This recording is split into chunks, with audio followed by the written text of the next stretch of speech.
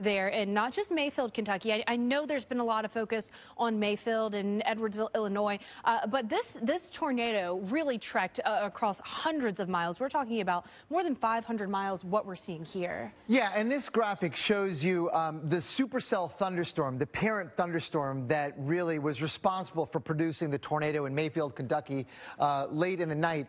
But it started all the way here in Arkansas. Central Arkansas is a little sort of innocuous looking little feature on the radar. A bit of a supercell structure started to develop and then moved throughout the evening and overnight hours and eventually in the early morning hours near the Ohio River.